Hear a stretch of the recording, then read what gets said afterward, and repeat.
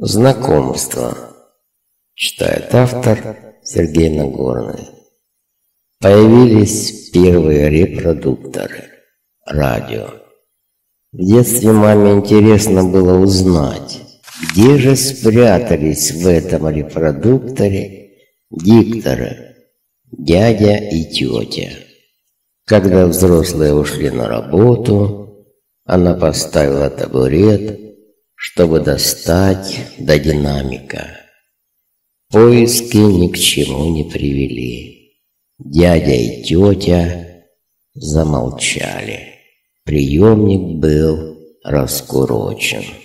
Когда пришли взрослые, ей досталось на орехи. Родная мама моей мамы умерла, и в доме появилась мачеха.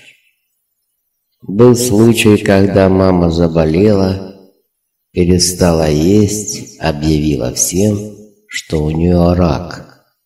На что баба Поля ответила «Дурак!» Отварила курицу и заставила съесть маму. Рака как не бывало.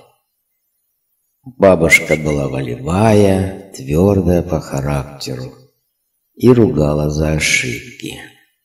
Она давала не раз мудрые советы, наставляла всех на пути истины. Когда маме исполнилось шестнадцать, она пошла на работу и там познакомилась с отцом. Он стал ухаживать и послал сватов. Они наперебой расхваливали отца, мол, не пьет, не курит, работящий, гармонист, песни поет, танцует.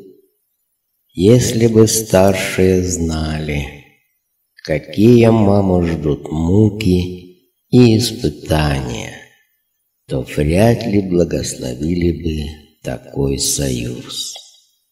Батя купил мотоцикл и решил хвастануть перед всеми.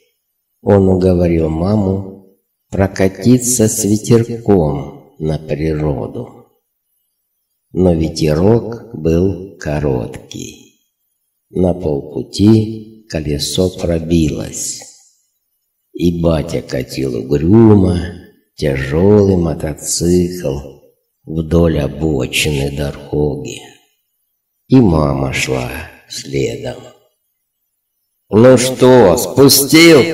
— кричали с издевкой водители проезжающего транспорта.